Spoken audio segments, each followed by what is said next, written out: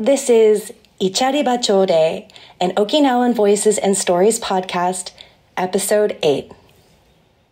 Haitai, and welcome. We're so excited to kick off our second season, um, and we are starting with a interview of our very first Kickstarter backer, Momi Cummings. Uh, so, welcome, Momi. Um, and do you mind sharing a little bit about yourself, your pronouns, and perhaps what land you live on as we get started here?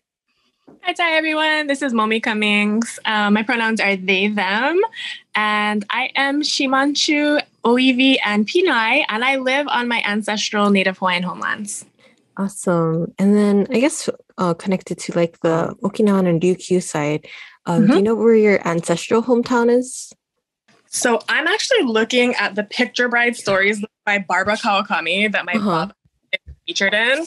So oh my goodness this book for telling me that her home village is Misatomura Nakagumi-ken on Okinawa. Oh my god, that's like awesome that you have that resource. And yeah, could you repeat the uh, the name of the book again? This is Picture Bride Stories by Bar- Barbara Kawakami. Definitely put it in the the links, um, the show notes. Great. So, um, yeah, it sounds like you are a blend of so many things, but what inspires you about being Okinawan, Ryukyuan, or Shimanchu? Um, I actually love being multi ethnic Shimanchu because I feel like I have always felt really embraced and supported in Shimanchu community being a mixed race person. Um, and I am super inspired to be able to connect with you folks in community virtually over the pandemic, mm-hmm. um, meeting other Shimanchu in the diaspora. I have a super huge passion for family history research, so I'd love to talk about that. Um, and being able to just collect our ancestor stories and genealogy to be able to pass on to the next generations. That's an amazing answer um, and a great segue into our next question, which is What do you do in life? Um, what is your passion? What do you study, um, whether it's art or education? I know you're involved in so much. Yeah. So I work as a teacher um, at a school for Native Hawaiians called Kamehameha on Oahu, where I live. And I teach economics. So my passion is making economics and finance accessible um, to my home community and to Indigenous communities in general. Um, I'm also passionate about, like I said, family history and genealogy research. So I am really loving and inspired by learning not only about our like collective Okinawan history, but like our specific family histories mm. and all the stories of resilience and creativity and migration. Those inspire me a lot. Wow. I love that. Um, but what is your dream or hope for Okinawa or the Ryukyus? Mm. So one, my personal dream is actually to be able to reconnect um, with our homeland. I've never been to Okinawa, mm. and actually, no one in my direct lineage has been back since my baban left in 1911. Oh, so wow. it's been over a hundred years wow. um, since my mom or grandma or baba, who is actually my great grandma, has been back in person. Mm. Um, I had a trip planned for March 2020, and we know that that didn't happen. uh, and then I had another trip planned for March 2022, and that's not going to happen yet. So I'm really hopeful for Taikai 2022 um, or whenever is going to be the soonest safe time to be mm-hmm. able to to visit. Um, and one of the things that I'm inspired by is the um, resistance to militarization that's happening both in Okinawa and here in Hawaii. I think that's a really um, heartfelt connection that I can relate to from my lived experience growing up here in Hawaii. Um, that's also super pertinent to our homeland mood shift, but what is your favorite Okinawan culinary dish? I know this is probably going to be a very basic answer, but andagi. Hell yeah! Um, and I have I have reasons. So um, I'm so happy to be able to connect with fellow Shimanchu on Instagram. I just met my friend Yuki on who I met on Instagram, and she made me andagi the first time that we met. It was oh. so sweet. Yeah. And I had to tell my mom, like, Mom, I made a friend. And she was so happy. Um, because my auntie, who is my grandma's oldest sister, um, she was like the family and also hometown andagi maker.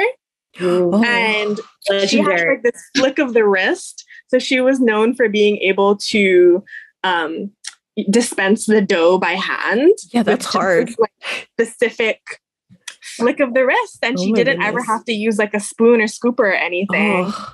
And it's just this like little, you know, auntie magic that we yeah. enjoy and that makes us feel like home and special. So, yeah, it was beautiful to be able to make a friend virtually and then in real life and have that connection. Yay. Oh my gosh. And to share food. That's so, like that's like that's like a true ichariba choodee. Like you met yeah. online yeah. and then you met in real life and you shared a meal and it's like you're bonded. Yeah. I love that so much. Um, could you share with us the one person who has influenced your life the most? Oh, that's a great question. Um, I mean, I for this podcast and in my life, I have to say my grandma, my grandma Nancy. She was born Shigeko Nakasone. Her second grade teacher gave her the name Nancy because she didn't want to have to say the name Shigeko. And that name stuck with my grandma for the rest of her life. She, second generation Uchinanchu, um, born in the 20s. So she lived through the Great Depression. She came up um, in the 40s. So she was coming of age during wartime. And she was the first person in our whole family to graduate from college. Mm. She actually worked for over 12 years to put herself through school um, and then graduated with a business degree in 1954. Um, and so, as you know, an Okinawan American woman by herself, you know, she actually left Hawaii and went to Colorado to get that degree. That tenacity and just, you know, the fierceness of that attitude shapes me. Um, and then with that, she instilled in me and the rest of my family um, the importance of giving back. So she was a school teacher and specifically a special education public school teacher in Hawaii for over 30 years. Um, and just really took it upon herself to do whatever she could wherever she could. Mm-hmm. So when we were little, she used to take us to the back roads of Kauai and she got adopt a highway t-shirts from the Goodwill. Oh my God. And self-appointed herself and us, my young cousins and I, um, adopt a highway of that road. And every weekend we would just go and clean that road. oh my goodness. That's amazing. Completely unconnected to any like official organization. what I learned from her and what I think is very to me the Shimanchu spirit is mm-hmm. when you want to do something, when you know that is right, or like when you see a need in your community, you just do it, you find a way, you be creative. And do it with a light and happy heart. oh, I love that so much. Yeah. incredible. What a legacy. Like, mm-hmm. Can you say her name one more time? I want to just honor it. yeah. Nancy Shigeko Nakasone Blaylock. A little bit of a transition. Is there mm-hmm. anything mm-hmm. that you would like to share with us that we may have not asked that would be important for us to know or our listeners to know about you? I would love to take this opportunity to put it out there that if there are any other Shimanchu, especially in diaspora, who have a passion or interest for collecting family history, family stories, or trying to document your genealogy, I would love to connect. I would love to be able to share resources. I have a passion for this, and I found it particularly challenging um, because I only speak English mm-hmm. to mm-hmm. access historical resources specifically related to genealogy. So I've only been able to go back to my baban's generation. Mm. Um, and I know, you know, the the beautiful multitude of languages that we speak in our Shimanchu diaspora is both a blessing that we can, you know, access so many different worldviews. And it's also such a challenge because mm-hmm. I'm like, how do we. Connect uh-huh. and share our resources across diaspora. So that is my passion and my current undertaking. Um, and if anybody else is on the same wavelength, I would love to be able to like collect resources for our our shared benefit. Yeah. and our, our ongoing, you know, family history collection. yeah. And then where can our listeners find you online? Um, my Instagram, which is not professional in any capacity, is cool emomi. um, yeah, so that's that's the best way to connect with me um, on Instagram. Thanks. Awesome. Great. We'll definitely have that in the show notes. Okay. Show notes. Um, and are there any shout outs that you would like to give while you have this space? Go for it. Yes. for it. Okay. First and foremost, our podcast co-creator, Erica. Thank you for making Shimanchu Pen Pals Oh, my Shimanchu non-family friend list has grown 10 times. oh, I'm so happy to hear. Yes. And specifically my queer and trans Shimanchu Pen Pal family. What's up? Hello. um, I grew up thinking I, I was the only one. I was the only one. But we are out here. And so to my pen pals, I love you guys so much. Um, specifically my day ones. I love you guys. and if you're not on Shimanchu Pen Pals, this is my plug on behalf of Shimanchu Pen Pals. Thank you. and um, I guess our final and most favorite question is your go-to karaoke song. We're gonna add this to our playlist. I started a playlist on on Spotify and I'm adding to it. And we're gonna have our booth and everyone has their songs lined up to sing. So what is yours? I love this. Um, okay, first of all, find me on Instagram so that this can be an ongoing conversation. I regularly ask people for karaoke recommendations and am compiling a playlist. So connect with me there. Um, I gotta say, Adele, make you feel my Mm, yeah. oof. Any Adele song, we're there. We gotta close out the night with it though, so that everyone good and we, we don't really care about being on pitch because to the social connection and enjoyment of it all. I love it. Mm-hmm. A well curated karaoke list does take into account the final song. Yes. Sarah, yeah, you gotta know like what's the vibe, right? Yeah, yeah, you gotta like send off into the night. So I'm good. I'm 100% behind that. Oh, great. Well, thank you so much, Momi. I super appreciate you, um, all of your support, your energy, your joy.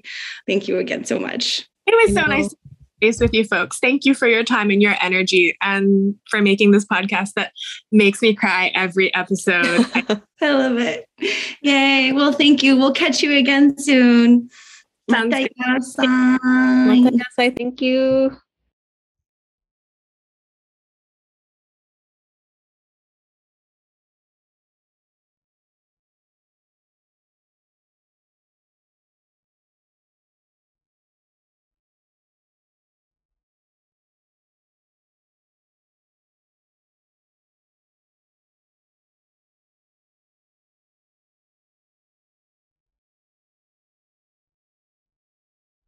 Kusuyo, Haitai, and welcome to episode 8 of the Ichariba Choodee podcast. Wanne Mariko Yaidin, my name is Mariko, and today I'll be your co host alongside Erica Kunihisa. Hi, Sai. Itashiku unige sabira. This month's episode, we will be talking about activism in Okinawa, specifically around the relocation of the US military base to Henoko. As with many things relating to Okinawa, this topic is complex, and there are many sides to these sensitive issues that have direct relation and impact on many Okinawan lives. That being said, we want to begin this episode with a slight disclaimer that the views expressed in today's episode may be sensitive or contentious to some people. The podcast stands firm in our mission to provide an open and safe space for these challenging conversations, inviting diverse voices to the table so that our diasporic communities might be informed and have the opportunity to hear and learn from each other. Our guests will share their individual viewpoints, and if we're doing our job right, we'll engage in healthy and respectful discussion. Their viewpoints are their own and not reflective of past or future guests. Well, with that out of the way, I'd like to move to welcoming our amazing and honestly badass humans who will be joining us today as our guest speakers. So, yeah. first, I'd like to welcome Maia. Hi, thanks for having me. And Kaiya Yonamine. Hi, yeah, thanks for having us. Maia is a Yonsei Okinawan American and is currently an associate editor at The Intercept, but lives in New York. She previously worked at New York Magazine and The Nation, where she wrote two powerful articles Okinawa in their fight to stop a new US military base, Okinawans confront two colonizers, and in Okinawa, the US military seeks a base built on the bones of the war dead. Kaiya is a second generation Okinawan American wishing to bring awareness to the mil- US military base relocation happening in Henoko not being covered by the media, Kaiya traveled to Okinawa in the spring of 2019, where she created the documentary Our Island's Treasure. The documentary centers on the destruction of the beautiful Okinawan ocean in Henoko, and the fight by the native Uchinanchu to protect it. She also has a website where you can see the completed documentary as well as resources for action. Kaiya is a current journalism student enrolled in her second year at the University of Hawaii. Welcome, Kaiya and Maia. This is a really exciting podcast episode, and yeah, again, just welcome to um, to the podcast again. Yay. Thank you so much. We're so excited. We've been looking forward to this for a long time. I know it's our first episode of this new 2002, no, 2022 yeah, new ah. year.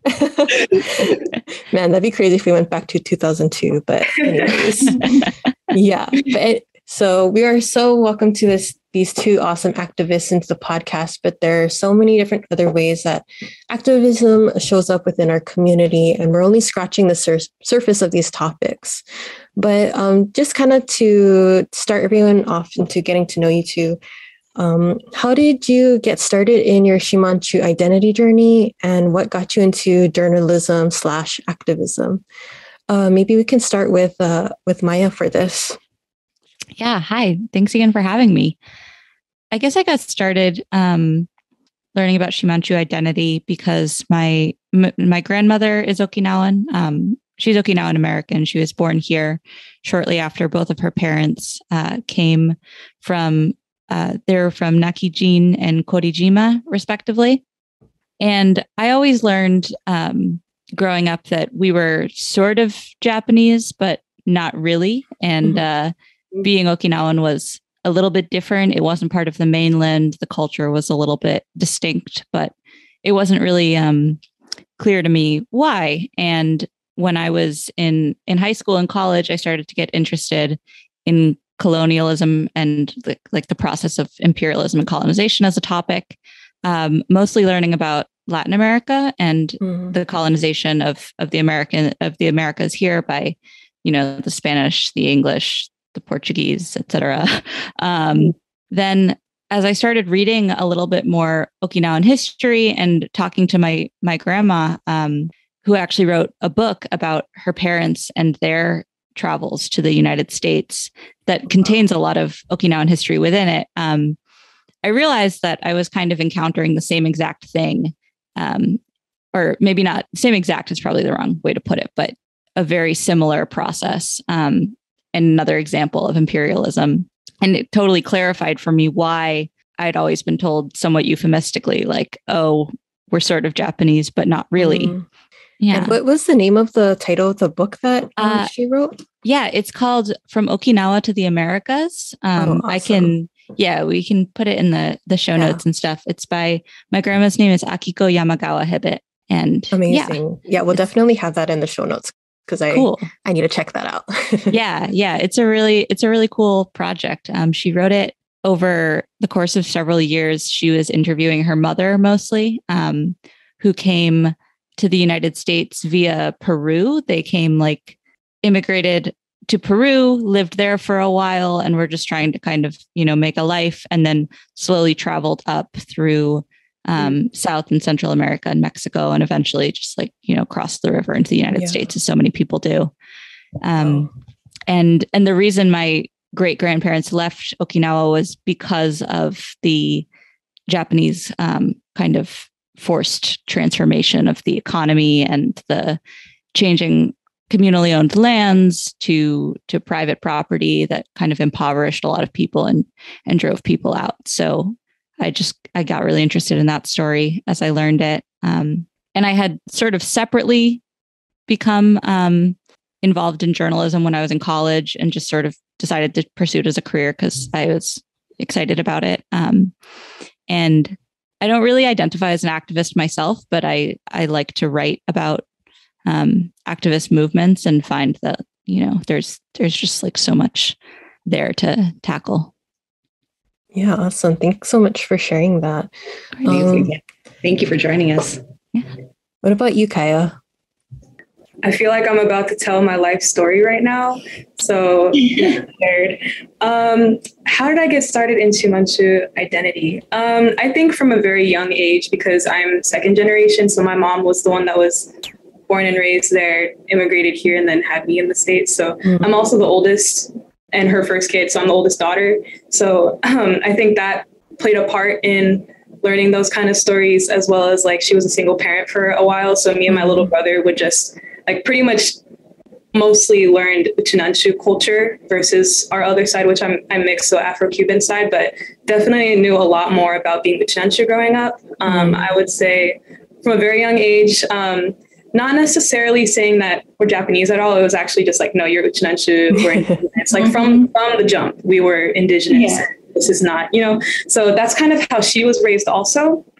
Um, so I would say the legacy kind of goes far back for us. Um, awesome. My great grandpa was one of the DAs for Okinawan community, and he was also one of the survivors of the war. So oh, wow. we stayed. Her family, like she grew up in Naha in Sobe, but another part of it is that um, my grandma's family is from Henza Island, which is a really really small island. It's like 500 people, I want to say like 90% elders, you know, like very culturally preserved. And so she kind of got that balance of like the city and also seeing like the ocean every single day kind of a thing. So those are the kind of stories I got growing up was like the wartime, um, knowing that you're indigenous, like this is what the ocean was like. This is what my grandparents would tell me, all those kind of things. And I think that had a big impact on my own identity and how I showed up in Portland, Oregon, which is one of the whitest cities in America, right? Yep. So it was interesting being a Chinanchu or Shimanchu Afro-Cuban living in like a really white city, but my specific neighborhood was like um, historically more culturally diverse. Um, but yeah, even from a young age, like I was part of our um, Japanese immersion program in Portland, and that was mainly because there wasn't an Uchinaguchi option. and mm. so my mom, like, yeah, my mom was like, "Well, you got to communicate with your family somehow." So I guess this is the best way we can do it. But yeah, so the whole goal for me to continue with that kind of education too was to connect with my family in mm-hmm. Okinawa. Um, so I think, yeah, it really influenced a lot of decisions that I made in life. Um, I'm 19, uh, and my first time going to Okinawa was my um, summer before freshman year of high school. And so being able to actually go and like see the places that she was talking about in her stories, you know, and like meeting the people definitely um, had a big influence on me. Um, I just wanted to give like a shout out to my great grandma too because she's or she just recently passed but she was 102 years old mm-hmm. and she was um yeah she was one of the teachers at the Himeyuri High School at the oh. nursing, the nurse high school yeah so mm-hmm. um, she always told stories to my mom also and then would pass those stories down about how like she never lost one of her students during the war and like those oh, kind of goodness. things so wow. I think it's definitely like yeah like those kind of direct impacts of like war mm. trauma but also like the beauty of being home and loving the ocean and there for Uchina. So yeah, it's kind of a mix of those deep stories and also just appreciating life kind of a thing. Yeah. Uh, that's a long answer, but um, no, I love uh, it. Yeah, and then activism, I agree with Maia. I don't really consider myself an activist. I feel like I feel like you don't have to label yourself an activist either to be a part of those kind of things. Like even the smallest actions are being a part of a movement, you know. So definitely with the Henoko movement, I've been wanting to get involved, but in Portland, there's so many other things as well. There's like the Black Lives Matter movement. There's um, we did ethnic studies movement for a long time. Um, a lot of different things happening. So I would say I like to get involved in things, but I don't want to like label myself a certain way, you know. Mm. yeah. That's amazing. Thank you so much, both of you, for sharing your stories. And I just, I'm so inspired hearing you both speak. Um, and I just love like how youthful um, you are, um, Kaiya. Just like, and just the joy that you bring, um, especially hearing the, the, the intense sort of legacy that you have. I mean, that we all have, but just hearing your story, it makes me hopeful um, for the future mm-hmm. um, for all of the generations, and that you're the eldest sister. So I, will probably ask some questions about that later. But um, I would love to move us on um, because there is a lot to cover today. Um, and again, with the limited amount of time, um, we do want to set a little bit of context for our listeners as we dive into our topic. so, wondering if you could both, and sort of in a dialogue, natural kind of way, give us a brief history or background on the U.S. military bases is so that we can set the context for our listeners. So I guess this one can kind of start centuries ago, uh, but I think for the, the sake of time, we should probably start at around World War II.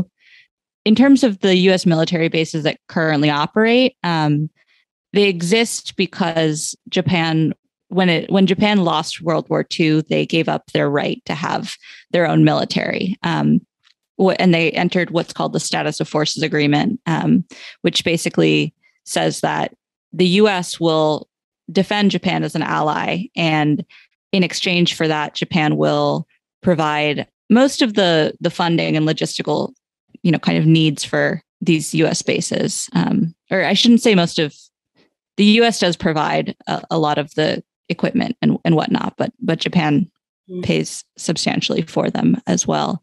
Um, it's a little bit of a an open and controversial question whether Japan actually does not have a military. Um, many mm-hmm. people would argue that they do. It's called the Self Defense Forces, mm-hmm. um, but it's just not supposed to be an offensive. Mm-hmm. Do you want to add some something, Kaiya? Yeah, I think I would. Um, I don't know. I'm not an expert on the military history itself. Um, I think a lot of the the impact that it's had on me is more emotionally, like how it feels to have so many bases. You know what I mean? Like it's not right, right? Like just it's how I feel about it because like there's already so many bases. There's like 32 or more at this point um, that are U.S. military that are in the islands, and I would bring up the statistics right now, but I feel like that's a lot. But just how small Okinawa is in relation to like you know colonial Japan landmass and everything is so disproportionate how many bases are on the islands and it's actually very similar i feel like to a lot of other island nations but um, i guess what i would add is like that emotional aspect of like when i talk to a lot of college students and high school students like during the documentary process and afterwards um, just that idea of normalizing military being around you all the time is something that really stuck out to me that mm. Like nobody even thought it was an issue until they left Uchina. And then once they left, they were like, oh, it's not normal to have like these soldiers around you every day and having that impact your lifestyle i think. So um, yeah that's kind of how i've always seen the military base like issue in general is like there's so many of them. To me it's an unnecessary amount like totally unnecessary amount but also how that is so normalized now for the younger generations that um, it's war trauma, but it's also like generational trauma, like having it around you all the time, feeling like it's it's okay when it's not okay. You know, so that's yeah, that's a very um good and like central point, I think. I I think maybe just for people who don't know, um yeah. who are listening, we should note that you know, Japan of uh, the US has tons of military bases all over the world. Um, and Japan has the most bases of any country in the world, um, the most US bases. And Okinawa has 70% of those bases, yeah. even though it accounts for, I think it's 0.6% of the land mass. So it's less than 1% of the actual land. Um, and on the big island, 15% of that land is taken by US bases. And these are all outposts that um, have popped up in the wake of World War II, the US has just um, established more and more of these, occasionally closed or moved them, for the most part, just built it up. And yeah, they were originally like the notion was that the US was going to protect the people by um, establishing establishing these military bases in the immediate wake of the war. But of course, that process also involved putting people into concentration camps or internment camps. Um, and the Okinawa was actually um, administered by the United States for a while. It it essentially took it from Japan like a war prize. Um, that was and, during the time of USCAR, right? United yeah, yeah. States. I forget the acronyms already. It's uh, United States Civilian Administration. Oh, what is the R? Um, I, I should like, know this from our last episode. I'm sorry, but we'll definitely have that in the show notes. um, yeah, United States Civil Administration of the Ryukyu Islands. Yes, um, thank you. Was basically a, it was a period of over 20 years after World War II um, when the United States had Okinawa as its own little colony. Um, and then when they they left, the agreement was that they would essentially be able to stay there into perpetuity with all these bases. Um, and it's just still going on now, and they're building more. Yeah, and I guess to put it into fr- uh, more further context, or from what I understand and what I've heard, is like um, Japan is basically the size of California, the state of California, and then thinking of that, and then Okinawa is like the size of Hawaii.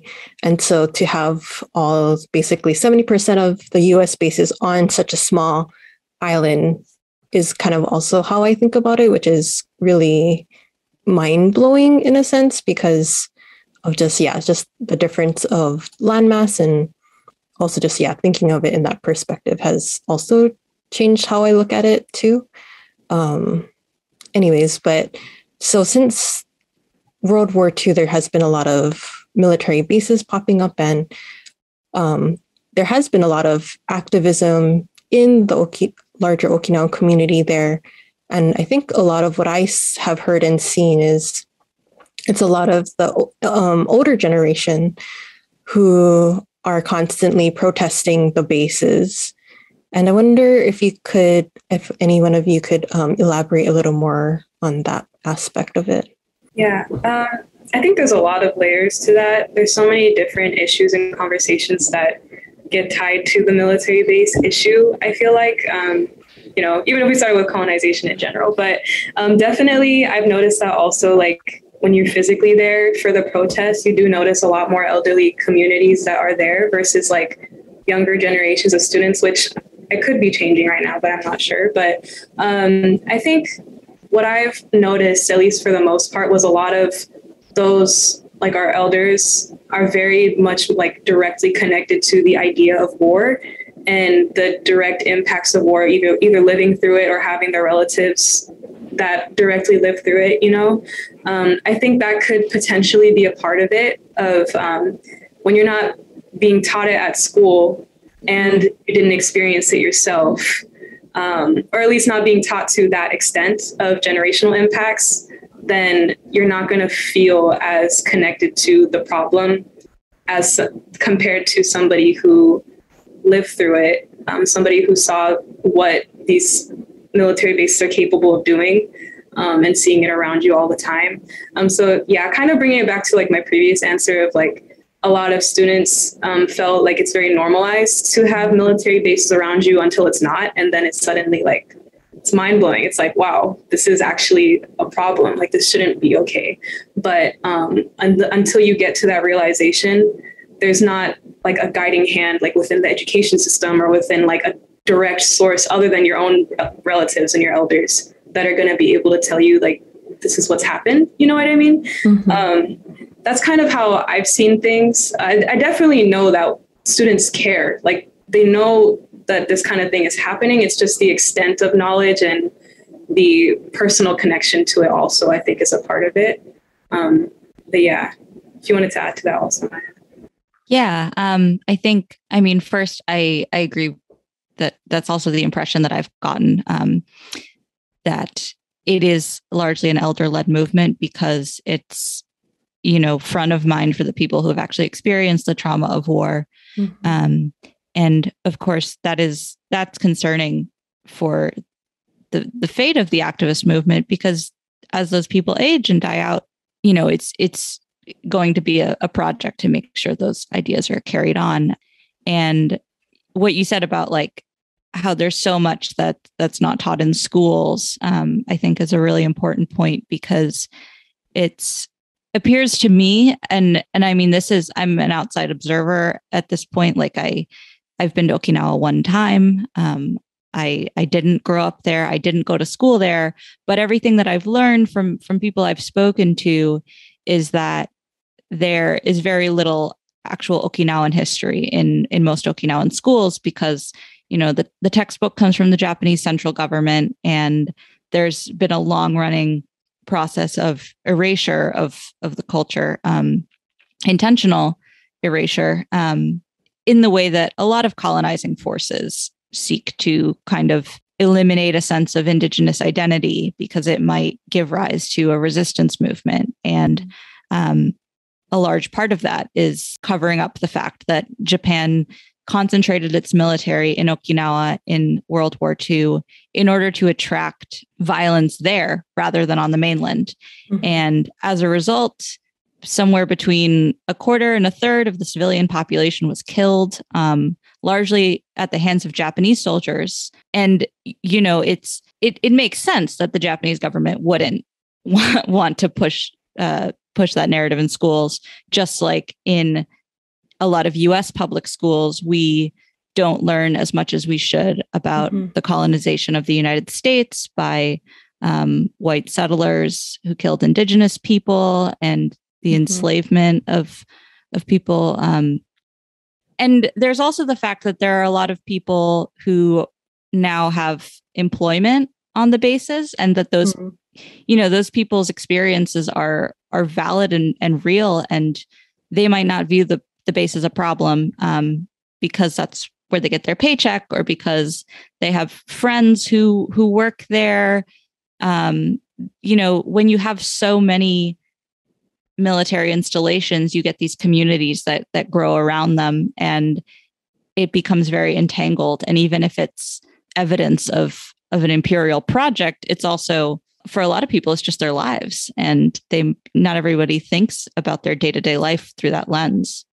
Yeah that's really um like a, a, almost kind of like a nice segue to like the next question that we had here but just the idea um, and the evolution of colonialism and how that relates to um, like and things like environmental racism or um, sort of tangentially from that like the unsustainability of the bases and how that impacts the people um, in okinawa currently. So i'd love to hear um, if anybody has any thoughts on those particular things. I know there's a whole slew of, of ways that that shows up but um, i would be curious to hear your experiences or your thoughts there's so many things I could say about this. I'm trying to think of one. Um, like, you know, like environmental racism, also specifically in terms of indigenous communities, whole other level of conversation. You know what I mean? Like, even origin stories and the legends of our ancestors and like all those different things evolve around the island and around the ocean and around like our environment, right? Like being for a lot of indigenous island communities, like being connected with your island and your nature and your ocean is that's life. Like that is so important to you. And that's the same, I think, with with Chinanchu communities and Shimanchu communities of like just being connected, especially to the ocean, I feel like is talked about a lot. Mm-hmm. Um, which is why I I take Henoko so personally as well as just the notion of the ocean being used in that way. Um, specifically back to environmental racism, though, also the idea that like it can be seen or devalued in that way by a colonizing group. You know what I mean? Like without the consent of the people who this is their sacred land, um, is kind of how I see it. Um, of course, outside of environmental racism, there's of course like already the history, as we were talking about, of colonization of Japanese like government and like community in general saying that you are not which not you're not Shimanchu at all. You are Japanese. You are going to follow our rules, our cultural guidelines. You're going to assimilate to us. And then having no choice against that in an education system that punishes you for it, right? Mm-hmm. So there's so many different layers to it, I feel like, but just the idea that Like for us, for yeah. us, like this is our identity. This is our original identity because it's our lands and our islands and our ocean. And then the idea of that getting like purposely either taken away from you or damaged in some way is also damaging your connection to that. Is kind of how I saw it. But mm-hmm. um, yeah, I'll just leave it at that. yeah, yeah, that's a really like beautifully put point. Um, in an indigenous context, environmental racism, um, I think, is is most clearly seen when you have the the fallout from the colonizers project, um, mm-hmm. contaminating the land and the water and and harming the people who live there, right? And so, with the U.S. bases in Okinawa, there have been um, many cases where uh, they use chemicals called like PFAS or PFOS. Um, it's this firefighting foam um, that gets used in U.S. military training, um, and it's it's carcinogenic and it can leak into the groundwater. Um, it can spill into it, it, it can contaminate like irrigation, and so on several occasions there have been reports of these chemicals contaminating local people's water. Um, there have also been fuel pipelines that are shown to have leaks and various flaws that can again contaminate the water and and harm people. Um, there are there have been helicopter and plane crashes where they were doing a test flight and you know it it hit somebody. Um, and I think and and there is where you get the environmental racism sort of bleeding into what maybe wouldn't maybe people wouldn't call it environmental racism, but just like human on human harm. So, mm-hmm. in addition to the helicopter and plane crashes, there have been many. So I don't have an exact number, but there have been several accounts of U.S. Marines um, going off base and drunk driving and hurting somebody. Um, also, a lot of violence against women and children. Mm-hmm. And, you know, it's just, it's this notion that one, this, this superpower that's occupying wants to achieve their project of having all these military bases for their war machine. And as a result, the people who already lived there are just kind of collateral. Mm. Mm-hmm. Yeah. And I was also thinking too, like, like how you were bringing up those examples that this isn't just like it's happening in in Okinawa and everything, but it's also like a pattern across mm-hmm. the world. Like it's not just a one time thing. And so I think that's also part of the reason why it's we're considering it in this like systemic way because it is systemic mm-hmm. and it is repetitive. Like it's not just us, I guess. But yeah, those are great examples. And then like connecting to other places that the same thing is happening right now too. Mm-hmm. Yeah. Yeah. Yeah. And those places I'm I'm assuming are you talking about like Hawaii right now with Red Hill and yeah. Guam and stuff yeah. similar and stuff like that. I think what's interesting, yeah, thank you for bringing up all this too. I think another thing that kind of goes back in terms of like why the older generation, or we see a lot of the older generation being on the front lines of these activist movements is also going back to the wartime and going back to that um, phrase Nuchi du Takara. Yeah, thank you. Which is like life is precious, right? And so the idea that the land is precious, like life itself in the land, the water, the people, the culture. And it's just like this common thread that, in terms of like, we're fighting for our life type of thing. Mm-hmm. And I don't know where I was going with that, but it's just kind of something that I, um, it reminded me of. And I won't just like, while we're sort of tangenting. Like i love the the idea of how precious the ocean is to um like i spent um my younger years in okinawa um and i was there in 1996 like i lived on base when there was that horrible um there was the rape incident um and so like my father was in the military and so i was like basically three years around that um, going to okinawan public school um, and so i very much um, internalized what you were saying um, kaiya about not realizing until you're outside of the context and so i think a lot of my journey has been unpacking um, what I experienced in my youth, um, and then being outside of that. So my dad did 22 years in the military, and then um, from that, like going to college and then kind of unpacking what that, like what I grew up in, like, you know, and, you know, my mother being Okinawan, but also married to US military and like all of those things. But, um, I don't know why I tangented to that because really what I wanted to say was that Okinawan graves face the ocean. um, and I think that that is like such a beautiful, beautiful part of our culture. And um, yeah, when I was thinking about um, sort of the environmental racism and then the fallout, what yeah, just imagining a world where our ancestors would be looking out at an ocean that isn't beautiful you know like the idea of nirai kanai like the the life the afterlife beyond across the ocean um, and if we aren't fighting to protect that then then what? Um, yeah so anyhow forgive my tangents but no thank you for sharing that's a great tangent beautiful yeah very illustrative of what we've been talking about so kind of like continuing on in terms of like um, different activist movements. Um, can you explain what the Henoko project is and uh, where do we currently stand with that? I mean, I think this actually fits very nicely into the question of, you know, what is what if the ocean weren't beautiful anymore?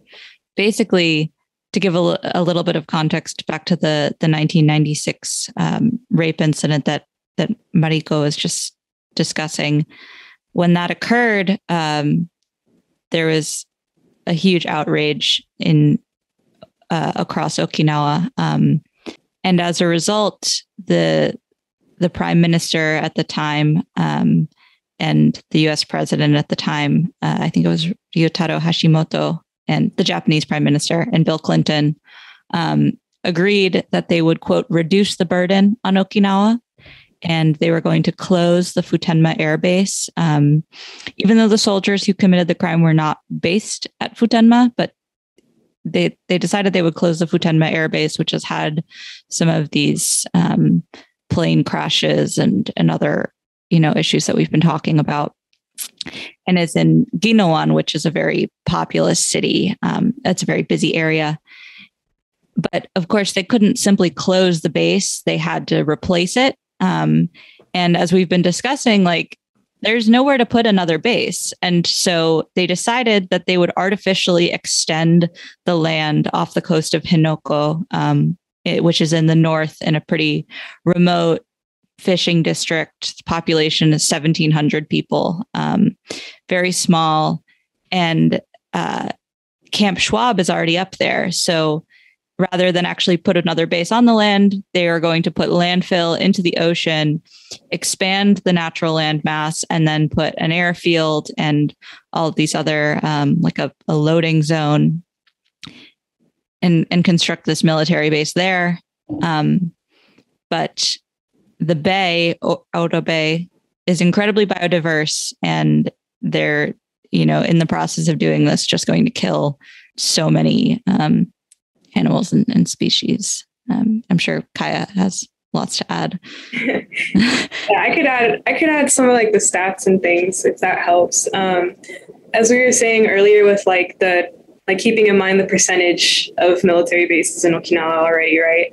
Um, so this this new base, supposedly new, really like you know all that complicated stuff. Um, so the size of the base that they were trying to create on top of the coral reef system in that ocean, which I'll talk about also, um, is supposed to be 205 hectares long, or that's 383 football fields. So if you oh. think about that context of how much ocean and how much of the coral reef system is going to be taken up, um, that specific area also um, not a coincidence that the Henoko region is also one of the poorest districts in the island. Mm. Um, so, you know, there's that internal struggle like job security and things like that happening too. But besides the point, um, that region is home of one of is the biggest blue coral colony, uh, reef colony in the world, and that region is also it's supposed to be protected by UNESCO, I think don't mm. I, I, wouldn't quote me on that one maybe take that out let's research it um, but i sure. do know that that area is the second most biodiverse region in the entire world and it's only second to the great barrier reef and so wow. to give you numbers for that. Um, there are over 5,300 marine species that live in just that region, um, and over 262 of those are endangered. And that includes our own dugong, right? Mm-hmm. So there's a big conversation about how are you going to do this when you're you're going into a place that should be protected and there's so many precious animals and lifestyle here and this is a fishing community like this is mm-hmm. how people live mm-hmm. but you're taking that so 383 football fields 262 endangered species over 5300 something species in general right mm-hmm. um, so there are those statistics, but also just the idea that the concrete is going to be put on top of the coral reefs and how much that will impact the region, even from an environmental point of mm. view, I think is really important. Um, that was one of the biggest things I think that hit for a lot of people when I would talk to them about Henoko also, even if you are involved in the military issue or you know some people see it as too political and all those kind of things but if you see it from a we're destroying the earth type of perspective and then bring that into that this is our indigenous ocean and mm-hmm. this is our way of living sort of perspective, um, it really heightens things for a lot of people of the severity of the issue. Um, so I think those are the, the biggest points that I wanted to make is not only how many bases are already there, right? And then the region that's being taken advantage of, but then also what's already there is already precious. Like it should not be taken away from anybody. Um, so I think that was kind of what I wanted to bring up, like that recurring military bases. But then if you bring in the environmental part, it's like it's crazy. it's really crazy. Um, but yeah, the they're taking a really long time on the construction too. I wanted to say um, Maia's amazing articles also cover some of these things too. Mm-hmm. Um, but if you look at like the articles that are put out there about Henoko, um, the way that they describe the ocean floor is as if it's like a mayonnaise consistency. Um, and that's because like everything that's broken down from the reefs and everything, it all stays there. And that's where the dugong go to to feed, right? Like that's like their mm-hmm. region to go to. Um, and so all of the concrete and everything that they're dropping in in the sand is all like just sinking in. And so they're just continuing to drop things over and over again all the time. Um, and then I know I'm going on for a while, but no, we love it. Keep on going. This is good. no, one of the things that I think is also very like ironic in a way when I was there for the first time at least and continuing to go, um, they're using dirt that's from our own mountains. That's it's red dirt, um, and they're using it to also do the landfill. And so, if you ever went this is what you would imagine like if you went there is that there's Camp Schwab as Maia was mentioning the the entrance of the camp and then there's like hundreds and hundreds like all the way down you can't see where it ends of concrete trucks of bulldozers of trucks with red dirt and then you'll see the elders are like lined up right at the entrance in seats with signs and everything and then Japanese riot police are on the side some of them might be Uchinanchu, some of them are mostly Japanese, um, but are grabbing the elders one arm at a time, one leg at a time, taking them across the street. And then the elders come back, either lay on the ground right in the middle and perform die ins, or they go sit back down at the entrance. And it just happens over and over again every day. Wow. So there is that symbolism of like taking our own land and using it to destroy our own ocean as well. Um, and since it's red, a lot of the elders said that it looks like our ocean is bleeding if you can envision that, like the the redness just going everywhere. So um, that's kind of what I saw when I first went, and I just wanted to share that because I feel like it gives imagery to what's still happening right now. But um, yeah, yeah, mm. yeah, it's a really powerful image. Um, I, I think it's it's it's also like as you're getting at a really good illustration of a case where a lot of the people who live closest to the to the ocean and who are deeply invested in it are trying to protect it and are being overridden by the Japanese government. And part of the controversy over the coral specifically also has to deal with um, the fact that the Japanese government is is trying to argue that they can they can still build the base there because they're going to transplant the coral colony. They're going to break it and transplant it elsewhere, and will therefore save it. And it's been argued um, by marine biologists that this is not viable. It's not going to work. They're not going to save the coral colony. They're just going to kill it. Um, but the government is is still proceeding with this. And over the summer, um, the Okinawan governor Denny Tamaki, who's very anti-base, um, and who Kaiya also interviewed in in her documentary, yeah. um, rejected the permit that the government, the the Japanese mainland government, had applied for um, in order to to transplant this coral because it's not viable. And just this past winter, the Japanese government just overrode his rejection and said we're going to proceed with it anyway. And i think that's that's very um, indicative of how things have kind of proceeded um, mm-hmm. where the local government has repeatedly said and and civilians have repeatedly said you can't do this. We're not going to let you. And they just kind of get steamrolled. And while we're at it futenma is still open There's a lot of emotions going through me right now. I mean, this, none of this information is like new. Or I mean, like maybe the statistics is, but it's still like just very difficult to take it in and be like, and still be like, this is okay because it's really not okay at all. Mm-hmm. And another point in terms of taking the land that is ours and um, putting it into the coral reefs, I think uh, Maia, you might be able to elaborate more on this, but um, they're using the soil in the areas during World War II where a lot of um, the bones have not been dug up again in terms of I'm phrasing this horribly, but basically the remnants of World War II. They're taking soil from that and using that as part of like the base of Henoko. Um, I think Maia, you might be able to elaborate a little more elegantly than I can. Yeah. That. So this is um it's an area called Itoman where uh, yeah, as you said, the the bones of the, the dead from World War II uh, basically because um there was such widespread mass death um there are many places where there are human remains that were just not recovered um, because there was simply too much, I think, to collect. Mm.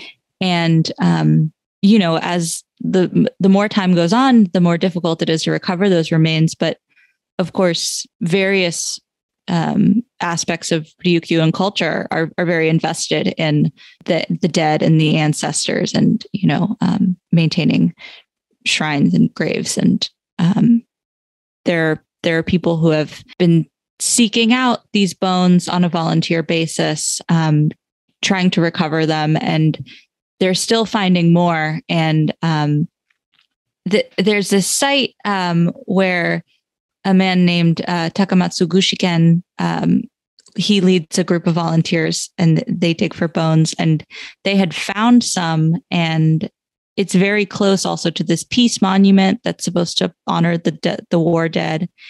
And um, yeah, the Japanese government had decided they were going to to harvest dirt from this location in order to to supplement the landfill. In part, actually, because they were originally going to bring it from a part of mainland Japan. They were going to truck soil over, and um, it was found to contain invasive species that would have been potentially very damaging to introduce into the the Okinawan ecology. Um, so that plan was rejected. And they said okay well we're going to find more dirt somewhere on okinawa then. And and this is this was what they came up with. And it's it's uh indicative of the fact also that as kaiya was saying like because the seafloor is sinking they just need so much land. They, it's not it's not a regular i mean not that any landfill project is um, respectful to the earth, but like this one is especially egregious. It's really structurally like possibly not going to work ever at all. Um, and they're just going to kind of keep pouring and keep dumping. Um, they they say they're going to make these pillars out of compacted sand and drive them into the ground to literally reinforce the seafloor. And so i think part of what's what what blows my mind every time is that they're doing all of this destructive um, work right now.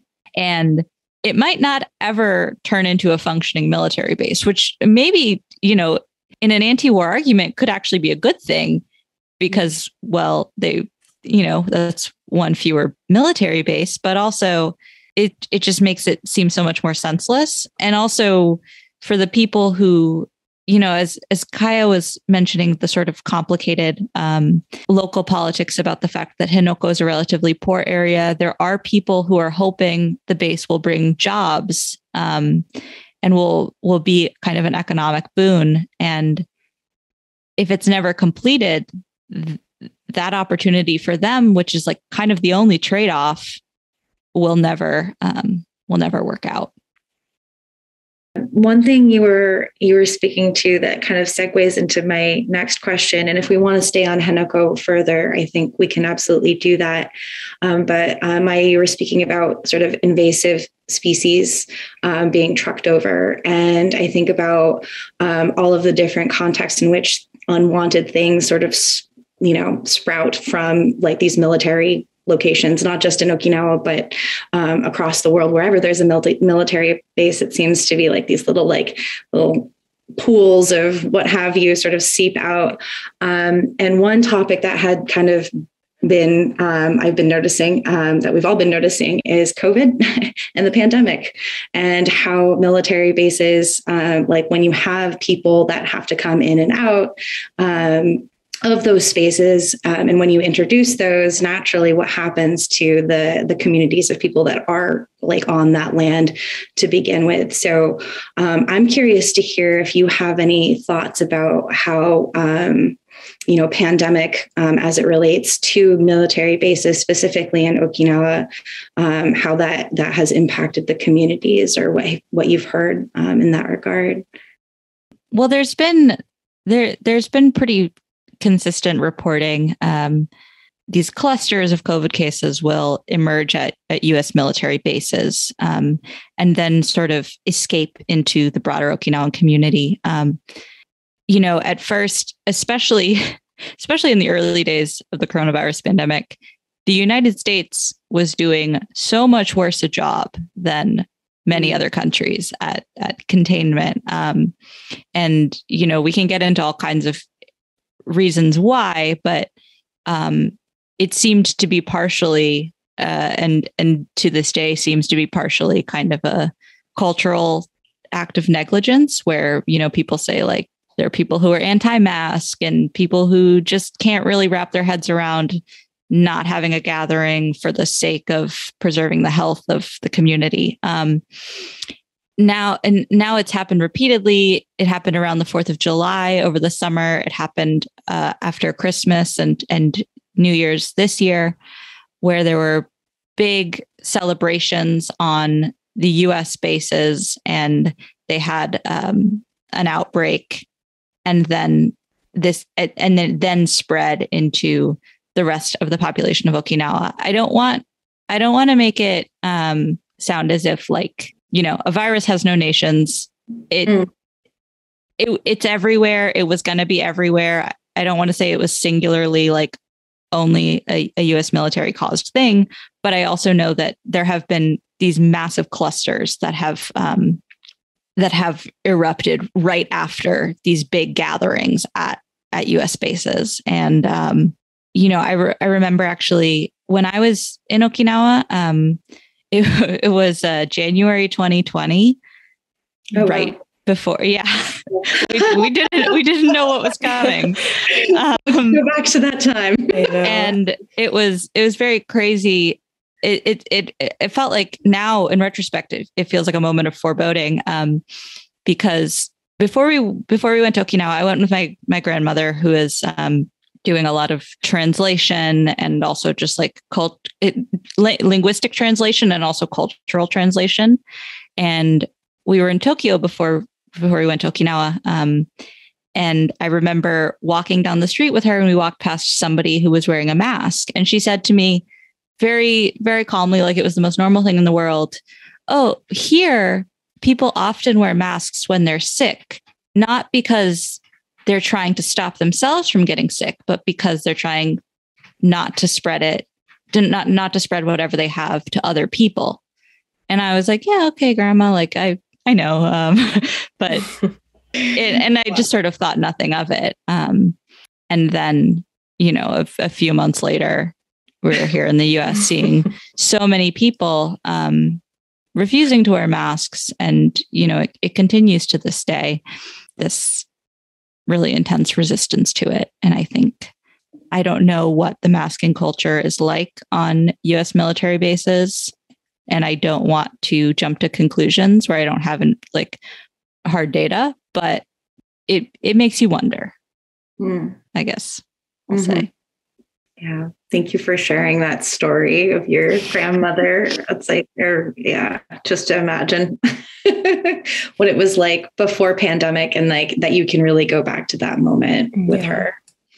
Um, I feel like being part of the Okinawan diaspora, like in America, versus like actually being in Okinawa and stuff, is a little difficult to stay up to date with um, events like Henoko and whatnot, um, just because of the language barrier and probably access to um, news and stuff. But how would you um, recommend people be able to stay informed and engage with like these events that are happening um, in Okinawa in general.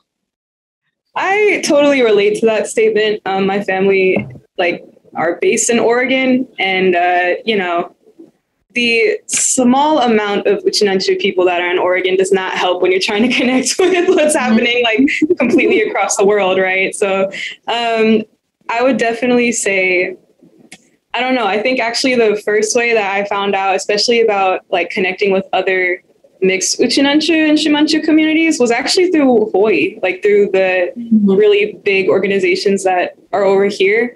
Um, especially for like English audiences, it's easier to connect with like diaspora to mm. understand like language barriers and stuff. Um, personally, I think I have a different experience also because since I'm like my mom is from Okinawa, I have like the direct like mm-hmm. social media um, connections, so it might be different for me. But mostly, I think it was through like connecting with other diaspora people, um, either through social media, really on like honestly, or through um, those kind of organizations that hold those talks and those spaces to talk together. Um, if you wanted to learn more about like Henoko and the base issue in general, though, I would definitely say like one, you should totally contact your representatives to see what they know about it and see what they're going to do about it. But also, um, like, I'll, I'll guess I'll plug in my website here too. Yes, I tried to I tried to put in as many news updates as I can, mostly in English articles. Um, I need to update it soon, but um, it's just Rise for Henoko. Um, Henoko is H E N O K O. So there's like a news tab on there that I tried to update as much as possible. But honestly, the easiest way was doing my own quick research, like what's happening in Henoko right now, and then seeing like Maia's article pops up, and then other things that give you those regular updates. Um, yeah, sorry, I know it's not much to say because it's just it sucks because there's not much out there as much as I would like there to be, um, which is one of the main reasons I made the documentary was like felt like a media blackout. Like, but like it's more now. There's a lot more now than there was like 2019. Mm-hmm. But at the time, it was only mostly local, like Okinawan news that were not able to translate it, or that were like Japanese national news, but like very small segments. So. Mm-hmm. Um, I would say do the best research that you can, knowing that there is not much out there, but just staying connected with others who are interested in that talk is also just as important. Yeah, I think those are all really good recommendations. Um, I mean, this is when we're kind of lucky to live in the the age of social media. Um, yeah. yeah, I mean, it's mo- it's mostly on the internet. I think the one other um, like logistical trick I would recommend to people if you really want to stay on top of uh, everything that comes out when it comes out is um, I use I use Google Alerts, which you can set up like through mm. Gmail and through Google. Um, it'll you basically set a search term and it will send you a daily email, or it's daily if there's something every day, but it'll send you an email every time there's new stuff on the internet that gets published um, that gets cataloged by Google with your with your term. So I have one set for Okinawa, um, and it basically it's kind of like getting a newsletter every day. Um, mm. But of course, you have to be mindful of your sources because you know, like like Kaiya was saying, a lot of it's from Japanese national outlets. Um, you all, I also you'll get a lot from Stars and Stripes, so like military outlets. Mm. Um, you should always be thinking about like what's what the source is, what their what their bias might be. Um, how trustworthy it is, et cetera. Um, but if you can kind of use that, you you know, use your judgment and a, a critical lens. Um, there's mm. there's stuff out there, and it'll keep coming. Yeah, yeah.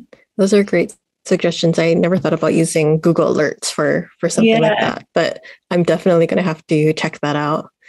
Yeah. Um, I kind of like a question that kind of popped up tangent from the ones that we have, but I think we've talked, uh, at least me and Mariko and Tori have talked about this on the side about how in the diaspora we might have, it seems like we might have a little more, or at least in America, a little more freedom to talk about these pressing issues in the military versus people who are living in Okinawa Honto because as Kaiya was mentioning earlier, like you don't know what's not normal when you're living it every day. And so I guess it's like also how, as a diaspora, we're able to support those living in Okinawa Honto right now while being respectful of what they want and knowing that we have maybe a little more um, freedom to be able to express our thoughts easily without repercussions of maybe not being able to get a job or um, things like that. But um, have you, both of you, come up across um, that that issue in terms of like when you're talking to people there and stuff like that?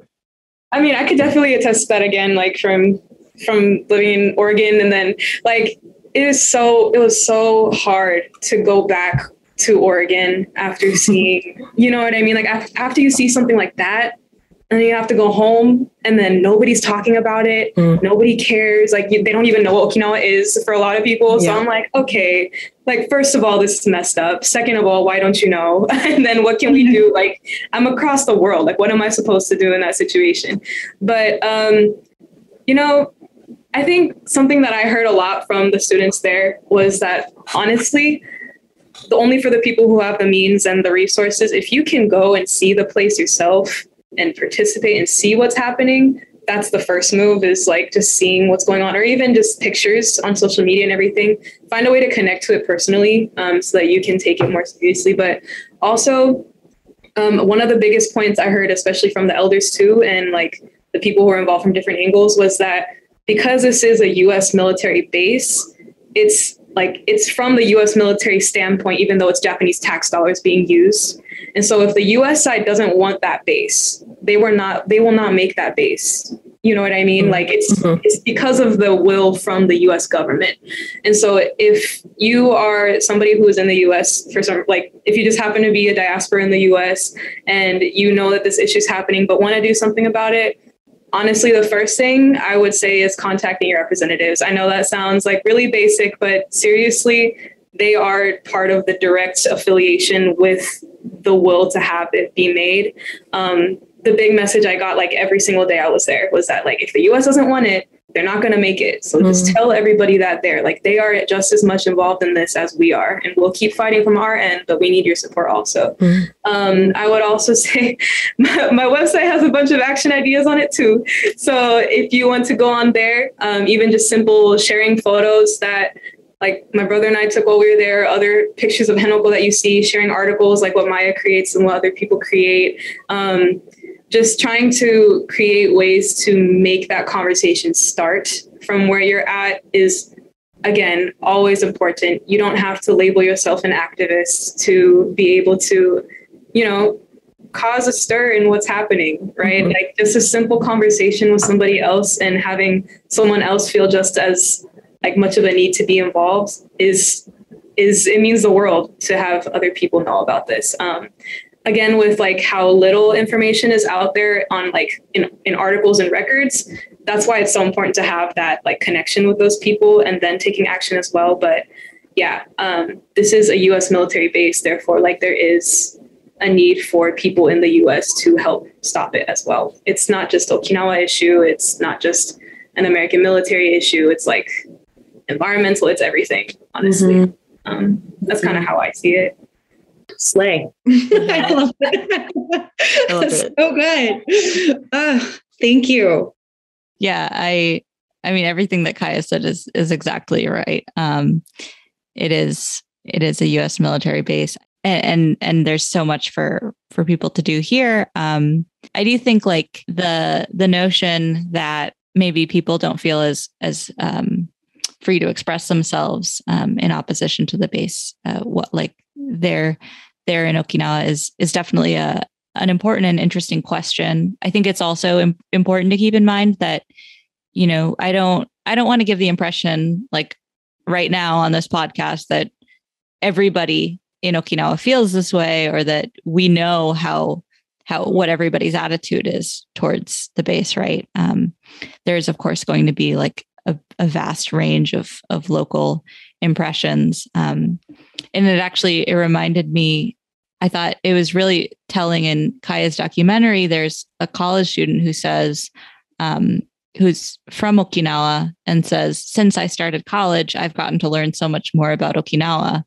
You know it, it just it is so clear that like there's so little information or there's tons of information but so little of it being shared and such a range of perspectives. Um yeah i mean i just think you should you should meet people where they're at and like try to gauge their perspective and um you know talk to them as much as you can yeah thank you Thank you both so much. I'm uh, that actually I feel like we kind of just covered the next question, which was basically how do you stay optimistic in this sort of intense, heavy conversation, um, especially when it feels like like what can you do? Um, and so um, I, I, feel excited and, and, empowered by everything that you both have done. Um, you know, whether it's through articles or documentaries or even the words that you've shared now. Um, but I would love to hear from you. Um, you know, ways that you stay or remain optimistic, even in the like sort of the the larger context of just how big this issue is.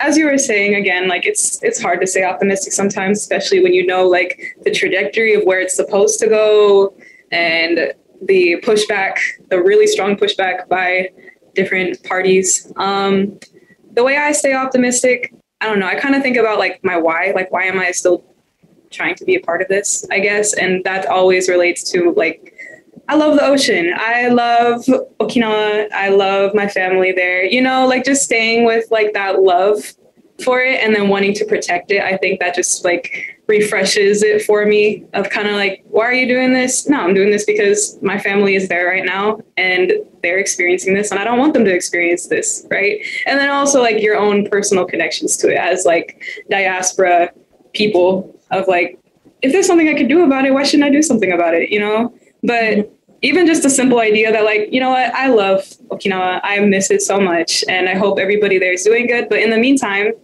like for the future generations to have a world where you don't have to have military bases literally on both sides of you every single day and you can go to your own beaches without it being private property and all those different things that like connect you so much more to a place that you love that's that's kind of how i see it of like staying positive in the mindset that like yes this is very serious what's happening but just remember remember why and then remember that other people are feeling the same way too.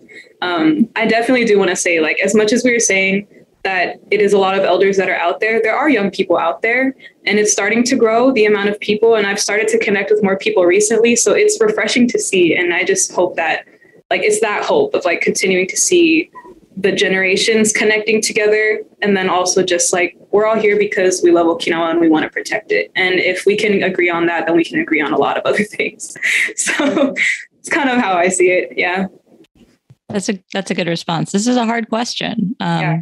because it is it is hard to stay optimistic um, but i mean i think all those all those points that kaiya just offered are are very useful um, and yeah, I mean, I I think the way to stay optimistic is is just to know that like if we're just kind of wallowing in in sadness about bad things that are happening, um, whether it's in the context of of the Henoko um, construction or any other like terrible thing that's going on in the world, um, that's not going to do anything to stop it. And um, all we can do is our best, kind of, and like connect with with others who who also care. Um, yeah, I think it's really helpful to to just like try to be in touch with other people who are also passionate about these topics and like it's a great way um, to like learn about your roots and your family if if for people who do have connections to Okinawa as we all do. Um,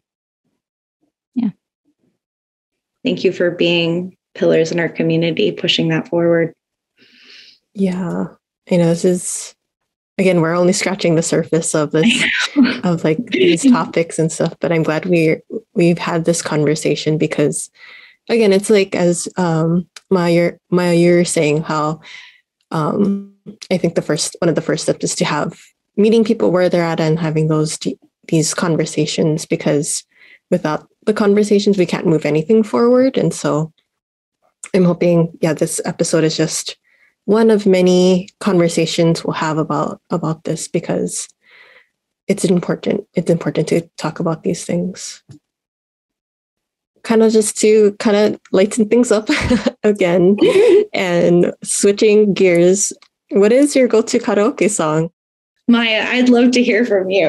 okay. Um, I I'm I'm a pretty shy. Uh, I'm pretty shy about singing, and I I don't know that I have a go a single go to, but I yeah. did um recently, or I guess it was a couple months ago, but you know, somewhat recently do do karaoke with a a friend um who compelled me to do a thousand miles by Vanessa Carlton. yes. oh my God, yes. Nice. It was a good one. It was a good choice. I love that. Nice the piano that I love mm-hmm. the video where she's like on the piano. Does anybody like find it weird that the piano is just going? Why? Um, strangely, the only time I've actually done karaoke was when I would visit family in Okinawa. yes. I had to choose Japanese and Okinawan songs. Um, so I guess my go-to, you guys know what Kiseki is by The Green, it is a Japanese band. It's like so many people's go-to karaoke song, but in eighth grade, I had to do like the rap part and stuff like that with my nice. Yeah, so literally badass. just class talking in Japanese. So me and my brother just go off on it together yeah, every time. That's nice. We just sweat it out. Yeah. okay, well, we're adding those two songs to the list to our karaoke playlist. Oh, if you're adding it to the list, can we do Shimanchu no Takara instead? Because I like that one. we can add both of them. We can add both okay. of them. I love that. Also, I really want to hear the rap part. Me too. yeah, no, no, you're good. we'll have to do our own karaoke at some point. Yeah, we keep plugging Taikai this year. I don't know if either yeah. plans are going, but yeah, manifesting that. Mm-hmm. yes. Well, awesome. I think that kind of like concludes all the questions we had, but is there anything that we may have missed or any other things that you want to talk about in regards to activism work or the military bases that we that you think it's important to talk about? Um, I would just say that if people are get really interested in this issue um, and want to learn more, there are a couple of of really good books out there. Um, there's one a, a, recent one by the writer Akemi Johnson is called um, Night in the American Village, and it's about like it's a work of like narrative um, focused on i think it's 12 women who all interact with the military bases in, in various ways. Um, and it's a really beautiful and, and informative book. Um, there's a, also one that's a little bit older because um, akemi's book only came out a couple years ago but there's one a little bit older called okinawa and the us military by an anthropologist named masamichi um, inoue and that also has a lot of just like very interesting context and history um, and, and, difficult questions. Thank you for sharing those resources. Uh, we'll definitely add those to our show notes. Yeah, Akemi Kemi's book is amazing. Very difficult to read in terms of topic, but very informative. Cool. Anything else you want to share, Kaiya? I don't think I have much to add. Um, I just wanted to say, I just want to say thank you for like having this space for us. You know, um, I think it's a very much needed conversation that doesn't always happen together. You know, like across we're in completely different parts of the world, and we're still yeah, able so to true. talk to each other through this. So um, this is a very precious space. I appreciate what y'all are doing, and I hope other people can relate to what we're talking about too. So, yeah. Thank you. no, thank you for yeah. having being on. Um, Seconded. Thank you for having us. Yeah. No, we appreciate this so much. Like I learned so much today too. Like I feel like I'm still learning a lot and so to be able to talk to both of you is is just like extra special because I know you both of you are very busy and so thank you for taking the time out mm-hmm. to talk mm-hmm. to us. Um, but where can we direct folks uh, in terms of looking to find out more information about what you? Like, feel free to plug in your uh, personal uh, social medias or any other channels. Um, Maia, we can start with you. Sure. Um, I'm on Twitter at Maia Hibbett, which is M A I A H I B B E T T. Um, I'm also working on a, a story uh, for Lux Magazine, which is a, a relatively new socialist feminist magazine um, that should be out maybe by the time this episode airs, if not a little bit later. Um, that's about the the anti-war movement in in Okinawa and specifically kind of looking at the the legacy of feminism um, in that movement. So that'll be know, something to look out for. Awesome. And what about you, Kaiya? Where can we find you? Awesome. Um, I think so. My Instagram for Henoko Okinawa related stuff is just Kaiya Okinawa. Um, my name is K A I Y A, and then you know the other part. Um, you could probably find my personal Instagram at some point, but uh, for the for the website, again, it's um, Rise for Henoko, H E N O K O dot com. Um, those are my main things that I try to update, and I'll probably be updating them pretty soon also. So, yeah, would love to stay in contact with anyone. Yeah, for sure. Um, so I'll have all of that information in the show notes again. But yeah, that could kind of concludes our podcast recording. And so thank you again for for being on and sticking with us for this hour plus a little more than an hour. Um, but yeah, thank you. Thank you. Thank you so thank you. much. I love this conversation. Matayasai. Matayasai. Matayasai.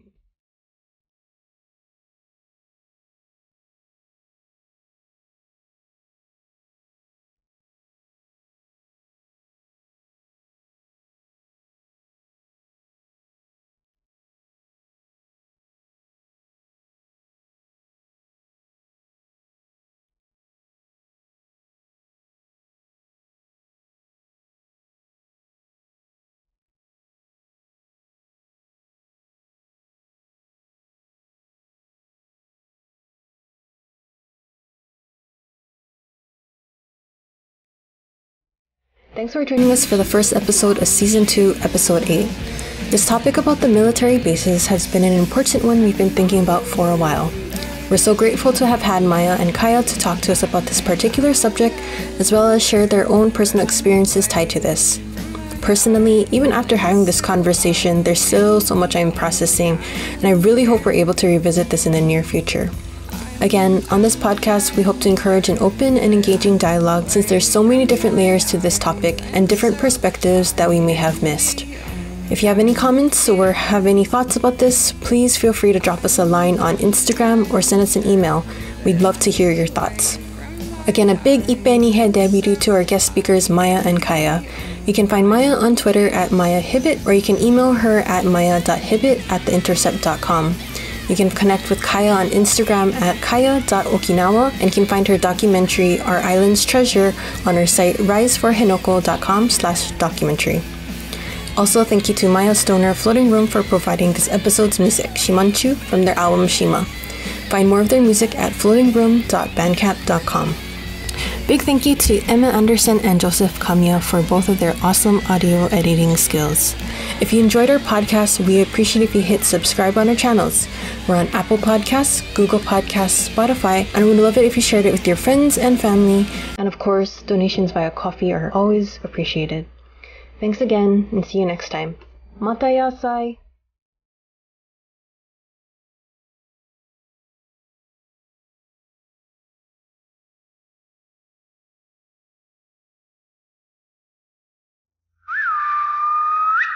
And now for our Okinawan fun fact of the day. homeland, the land on which you were born, the land on which you live, the place your ancestors came from. Place is intrinsically tied to identity. So, what do you know about the land that you live on? Today's fun fact is more of a mini session where we will learn one way to say a land acknowledgement in Uchinaguchi. Land acknowledgements are important, respectful statements made to honor Indigenous peoples and their relationship to the land. And since many of us are not Indigenous to the land we live on, it is even more important that we make these acknowledgements. To do this in Uchinaguchi, you will first need to know the name of the indigenous people who originally lived on the land and what that land was called in their language. For me, I live on land that was originally home to the Abenaki people. Second, you will want to know the indigenous name of the land that you live on. For me, I live in Vermont. The Abenaki name for this land is Ndakinna. So, to say, I live on Abenaki land called Ndakinna, you would say, Abenaki nu di nu Ndakinna uti kurachoibing. If you only know the name of the indigenous peoples, that's okay too. You can shorten the statement to say, I live on Abenaki land. In that case, it would be Abenaki nu ji uti kurachoibin. And there you have it. Give it a go. We would love to hear what your land acknowledgement sounds like. You can send yours in to us on our website or tag us in a social post. A shout out to Brandon Ing Shin for his help translating this acknowledgement. Thank you for sticking to the end, and we'll see you next episode. Mata ya tai!